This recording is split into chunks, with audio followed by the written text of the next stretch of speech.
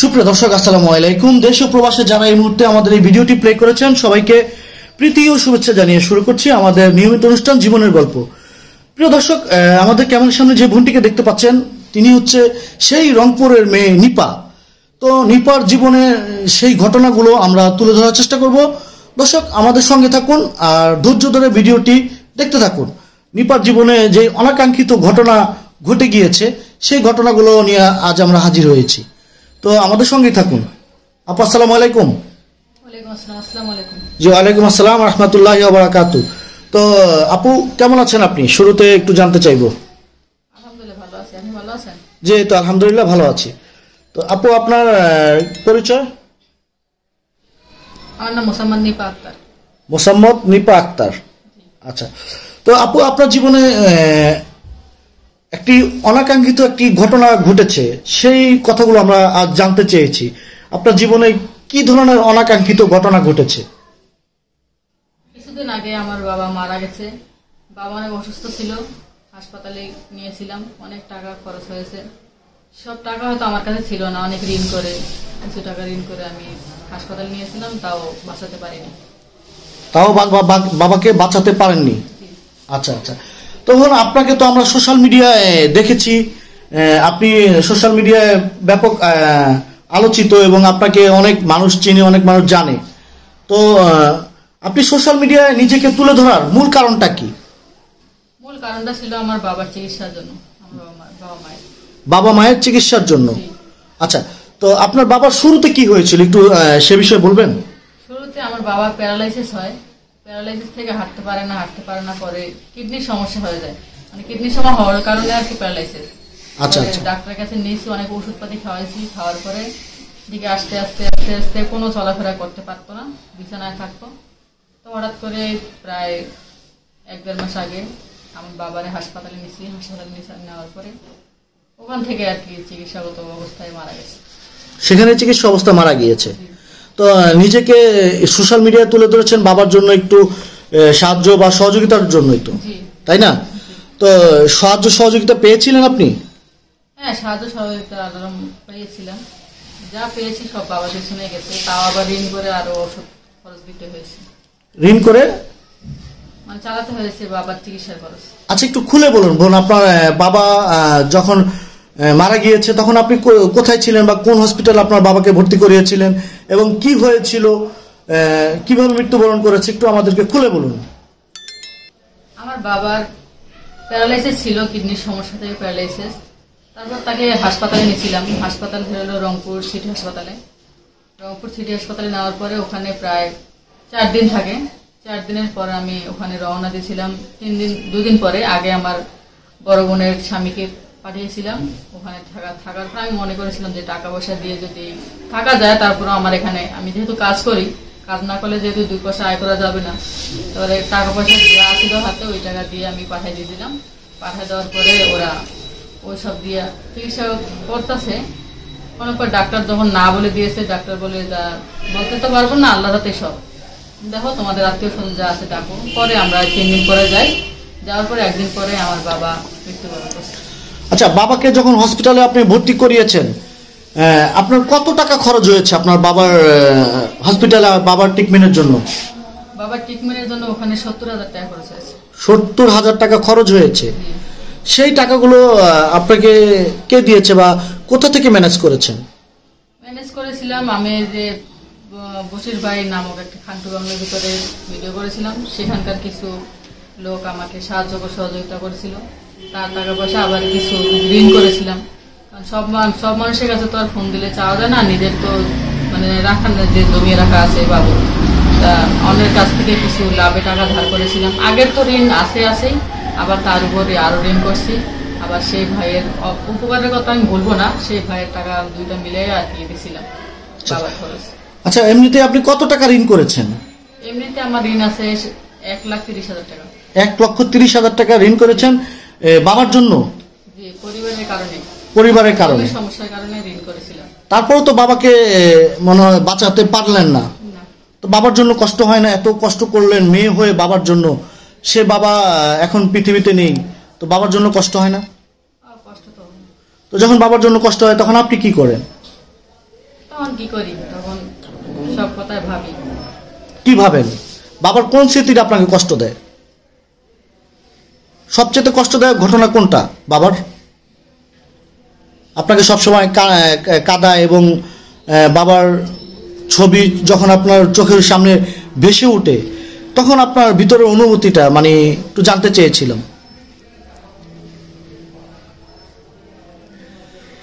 প্রিয় দর্শক, আসলে নিপা বাবার কথা আসলে আমরা আমাদের বলাটা ঠিক হয়নি। বাবা মৃত্যুবরণ করেছে বিগত এক মাস আগে। তো আমরা এই ভিডিওটি আপডেট ভিডিও হিসাবে দেওয়ার চেষ্টা করতেছি আপনাদের কাছে।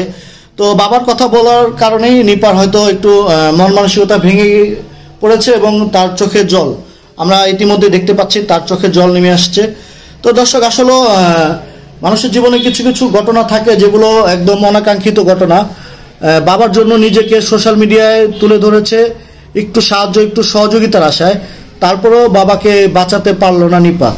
আসলে সোশ্যাল মিডিয়ায় তিনি যে নিজে তুলে ধরেছে বাবার বাবার একটু সহযোগিতা পেলে বাবাকে বাঁচাতে পারবে বা তার পরিবারের জন্যই তো তুলে ধরেছিল।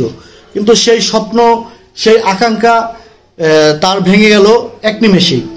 তো আচ্ছা বোন আপনি ইতিমধ্যেই বলেছেন আপনাকে কিছু প্রবাসী ভাই সহযোগিতা করেছে। সেটা কি নিঃস্বার্থে না স্বার্থ নিয়ে করেছিল? প্রথমে সে আমাকে বোন ডেকে মানে সহযোগিতা করেছিল। তারপর বোন ডেকেই সহযোগিতা করে। এখনও একজন করে বোন ডেকেই করে। এখনও তারা কিছু বলে নাই। বন্ডেকে সহযোগিতা করেছে। বোন বন্ডেকে কি আবার আপনি মানে কিছু লুকাচ্ছেন? না না কোনো কিছু লুকাইছে লুকাচ্ছি না মানে বন্ডেকে সহযোগিতা করে কি বিয়ের প্রস্তাব দিয়েছিল নাকি? এখন একজন দিয়েছিল আমি রাগারাগি করি নাই আমি এমনি কথা বলে বলছি যে না হবে না। প্রথমে বোন ডেকেছে তারপরে বিয়ের প্রস্তাব দিয়েছে। তো আপনার কি আসলে আপনাকে বিয়ের প্রস্তাব কেন দিল? আপনার কি বিয়ে শাদী হয়েছে? না বিয়ে শাদী হয়নি। শাদী হয়নি? তাহলে আপনি স্বামী সংসারে এখনও যেতে পারেননি? না। আচ্ছা আচ্ছা। তো আপনি অ্যাকচুয়ালি আপনি স্বামী সংসারে যেতে পারেননি এটা কি কোনো কারণ আছে? মানে কোনো সমস্যা আছে? না এমনি কোনো আমার সমস্যা নেই। সমস্যা শুধু আমার ফ্যামিলিগত সমস্যা তাই ফ্যামিলিগত সমস্যার জন্য আপনার বিয়ে হয়নি নাকি কোনটা? না আমি বিয়ে করি বিয়ে করেননি? আচ্ছা তাহলে আপনি আপনার এখন বর্তমান বয়স কত? বর্তমান বয়স একুশ বছর। একুশ বছর। আচ্ছা তাহলে আমরা শুনব বিয়ে শাদীর কথা শুনব। তার আগে আমি জানতে চাইব আপনি যে এখন একুশ বছরে দাঁড়িয়ে আছেন তো আসলে আপনার কি ঘর সংসার করার কোনো স্বপ্ন আছে কিনা? বা আমাদের এই ভিডিওর মাধ্যমে আপনি দেশবাসীর কাছে কোনো সহায়তা চান কিনা? বা আসলে আপনি বিয়ে শাদী করে ঘর সংসার করবেন কিনা? আমরা সে বিষয়ে শুনব। তার আগে আমি জানতে চাইব আপনি কি করেন এখন বোন বর্তমানে? বর্তমানে এখন আমি গার্মেন্টস শিল্পে কাজ করি। গার্মেন্টসে চাকরি করেন? আচ্ছা তো গার্মেন্টসে চাকরি করে কত টাকা বেতন পান? যেরকম ডিউটি বেশি থাকলে বেশি সাত আট হাজার। সাত থেকে আট হাজার টাকা পান। আচ্ছা পরিবারে এখন আপনার মা আছে বৃদ্ধ মা। আচ্ছা আর ভাই বোন ভাই বোন আছে এক বোন এক ভাই বর্তমানে আছে। এক বোন এক ভাই আছে বর্তমানে। তারা কোথায় আছে? মায়ের কাছেই আছে। মায়ের কাছে। তাদের বয়স কত? ভাইয়ের বয়স দশ বছর আর বোনের বয়স ছয় বছর। দশ বছর ভাই আর ছয় বছর হচ্ছে বোন। তারা দুজনই মার কাছে। আপনার মা এখন সুস্থ আছে? না আমার বাবা মারা যাওয়ার পরে আমার মাও অনেক অসুস্থ। কিছুদিন আগে আমার মানে বড় বোনের স্বামীরে পাঠিয়েছিলাম। পরে ওখানে ওষুধপাতি কিনে দিয়ে আসছে। ওখানে আমার মায়ের হলো হার্টের রোগ। সে মানে নিঃশ্বাসে কষ্ট এখন ঠান্ডা বেশি এই কারণে আরও বেশি সমস্যা। ডাক্তারের কাছে নিয়েছিলাম। ওরা বলে দেখো ওষুধ খাওয়ায় দেখো কেমন হয়। আচ্ছা বাবা মারা যাওয়ার পরে বাবার সঙ্গে সঙ্গে মা মোটামুটি অসুস্থ হয়ে পড়েছে। হার্টের পেশেন্ট তো মার দিকে সবসময় খেয়াল রাখা হয়? আমি তো এখানে ওখানে ছোটরা কীভাবে খেয়াল রাখে? যতটুকু খেয়াল রাখা যায় অতটুকুই রাখি। আচ্ছা আচ্ছা। তখন আমাদের এই ভিডিওর মাধ্যমে আপনার দেশবাসীর কাছে কোনো আর্থিক সহায়তা প্রয়োজন আছে কিনা? আর্থিক সহায়তার প্রয়োজন সবারই থাকে। হয়তো আমারও আছে। কিন্তু নিজের মুখে না চাওয়া কি না চাওয়া কি সবই একই কথা। যার এই ভিডিও দেখে যদি আমাকে কথাগুলো ভালো লাগে যদি কথাগুলো বিশ্বাসযোগ্য হয় তাহলে সে আমাকে নিঃস্বার্থভাবে সহযোগিতা করবেন অন্য কোনো মানে বিয়ের বোন ডেকে অথবা যে কোনো এক জিনিস ডেকে বিয়ের কথা বলে এসব নিয়ে সাহায্য করার কোনো দরকার পড়ে না, সেসব সাহায্যের আমার কোনো প্রয়োজন নেই। নিঃস্বার্থভাবে যদি আমাকে কেউ সাহায্য করতে পারেন তাহলে আমি তাহলে আমি ভাইদের কাছে নাম্বার দিয়ে দেবো। ওখান থেকে আমি আপনি নাম্বার নিয়ে নেবেন। আমি এখানে নাম্বার দিতে যাচ্ছি না। যার কারণ আমি কাজ করি যেহেতু, আমারও ডিস্টার্ব ফিল একটা হয় কিন্তু আমি দিতে যাচ্ছি আপনি কি কন্টিনিউ ফোনে কথা বলতে পারবে পারেন? আপনার সেই সময়টুকু আছে। সময়টুকু শুধু আমার রাত আটটার পরে সময় হয়। আটটা বাজে ছুটি হয়ে যায় গার্মেন্টস। আটটার পরে আমি দুই তিন ঘণ্টা চার ঘণ্টা সময় পাই। আটটার পরে দুই তিন ঘণ্টা চার ঘণ্টা সময় পান? আচ্ছা আচ্ছা। তাহলে আপনি মানে আমাদের এই ভিডিওর মাধ্যমে একটু সহায়তা চাচ্ছেন তো বিনা বিনা স্বার্থে এবং নিঃস্বার্থে। স্বার্থ নিয়ে সাহায্য করলে সে সাহায্য আপনি গ্রহণ করবেন? না না স্বার্থ নিয়ে সাহায্য করলে গ্রহণ করব না। তার কারণ হলো যে নিঃস্বার্থ আর স্বার্থ হলো যে যে নিজের মন থেকে একটা জিনিস সে সা- সাহায্য করবে ঠিক আছে? কিন্তু তার মনের ফিলে যদি অন্য কোনো কথা যেন না থাকে সেরকম ভাবে তাকে সাহায্য করতে হবে। আচ্ছা আচ্ছা। আচ্ছা আরেকটি বোন আরেকটি বিষয় আমি জানতে চাইব। সেটি হচ্ছে আপনার বিয়ের সাথে বসার কোনো ইচ্ছা আছে কিনা? বা পরিকল্পনা আছে কিনা আমাদের এই ভিডিওর মাধ্যমে যদি আপনাকে কেউ পছন্দ করে বা আমাদের মাধ্যমে যদি আপনাকে কেউ বিয়ে করতে চায়, তাহলে কি আসলে আমরা তাকে বা তাদেরকে কথা দিতে পারব কিনা আপনার বিয়ে শাদীর ব্যাপারে? আমরা কি তাদেরকে কোনো আশ্বাস দিতে পারব কিনা? হ্যাঁ আশা দিতে পারবেন যদি সে ভালো হয়। কারণ আমি আমি আমি অথবা আল্লাহর কাছে জানি যে আমি খারাপ না। তারপরও নিজে নিজেকে অনেকেই প্রশ্ন করে যে খারাপ না, ভালো না। অনেকে প্রশ্ন হয়, কিন্তু আপনারাও যাচাই বাছাই করবেন যদি আমাকে ভালো লাগে। আমার ফ্যামিলি আছে, আমার প্রথমে আপনারা ভাইদের সাথে কথা বলবেন। আমার সাথে কথা বলবেন নাম্বার নিয়ে। যদি আমার কথাবার্তায়, পরিবারের দিক দিয়ে যদি ভালো লাগে, আমার বর্তমানে এখন আমার মা আসে, আমার বড় বোনেরা আছে, ওরাই এখন আমার গার্জিয়ান আমি ওদের সাথে কথা বলে যদি ওরা ঠিক করে যে না, দেওয়া যাবে, তাহলে ঠিক আছে। অন্য কোনো জিনিস নিয়ে আমি নিজের কোনো কিছু করতে পারব আচ্ছা আচ্ছা। তো ঠিক আছে, আপু আপনি ভালো থাকবেন প্রিয় দর্শক। আসলে ভর্তির জীবনের গল্প অনেকটাই বড়। তো এক পর্বতে সব কিছুই তুলে ধরা সম্ভব হচ্ছে না। আমরা আসলে ভিডিওগুলো সংক্ষেপে করতে চাচ্ছি, কারণ ভিডিওগুলো যখন অনেক বড় হয়ে যায়, অনেক রেঞ্জের হয়ে যায়, অনেক সময় আপনারা দেখেন না, বিরক্ত বোধ করেন। সেজন্য আমরা ধাপে ধাপে তাদের জীবনের গল্পগুলো তুলে ধরার চেষ্টা করি। তো দর্শক, তেমনি আজও আমরা এই পর্বটি এখানে শেষ করব। এই ভনের দ্বিতীয় পর্ব দেখার আমন্ত্রণ জানিয়ে আজকের মতো এখানেই বিদায় নিচ্ছি। দেখা হবে পরবর্তী পর্বে। সে পর্যন্ত ভালো থাকুন, সুস্থ থাকুন।